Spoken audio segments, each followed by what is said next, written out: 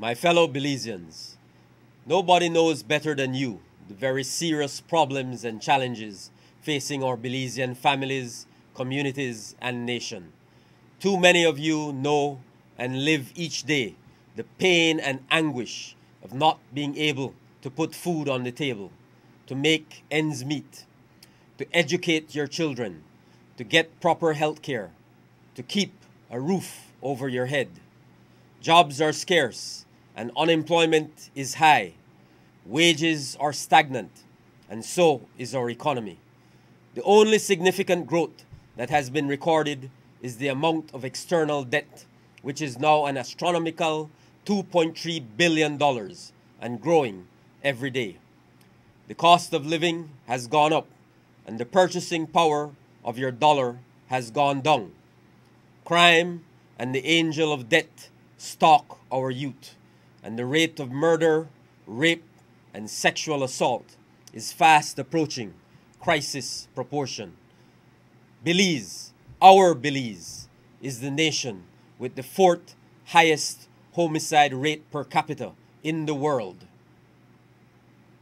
Our current UDP government acts like they are our rulers, informing us that we will go to the ICJ whether we like it or not while allowing the death of Danny Key to go unanswered, our reef to be wrecked, Guatemalan companies to build our forward operating bases, and ultimately seeking permission to build a base on our sovereign territory. A government's first and most sacred duty and obligation is the protection of our territorial integrity and national sovereignty. This UDP government has failed in this solemn duty, and for this alone they must go and go now. In the hour when it seems darkest, if you are a person of faith, you do not give in to despair. You know that light approaches and that the dawn of deliverance is near.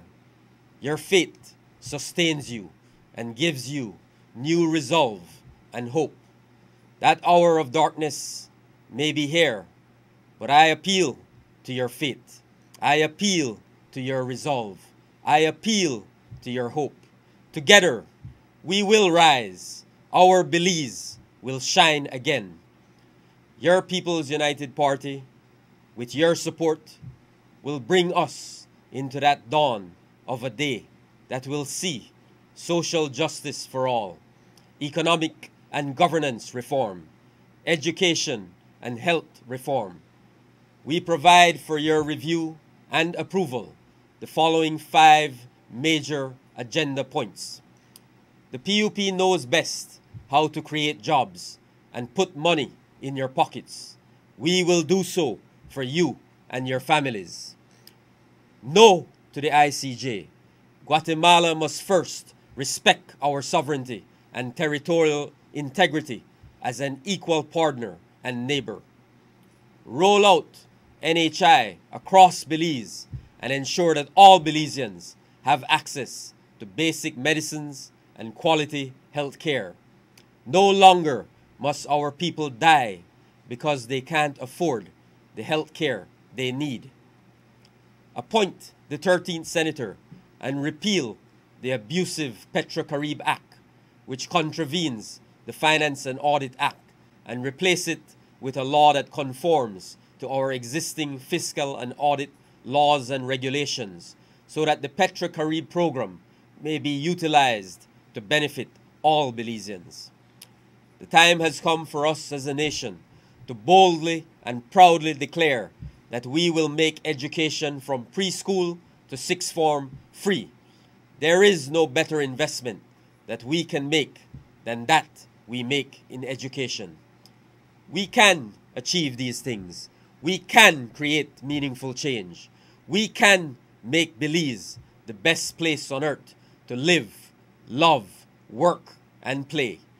I ask you today with humility, with hope, with the knowledge that you hold the power to create this new Belize, to join me, join me and my team, join hands with us hearts with us, hope with us, we can create a better Belize. May God continue to guide and bless you, your families, and our nation, Belize.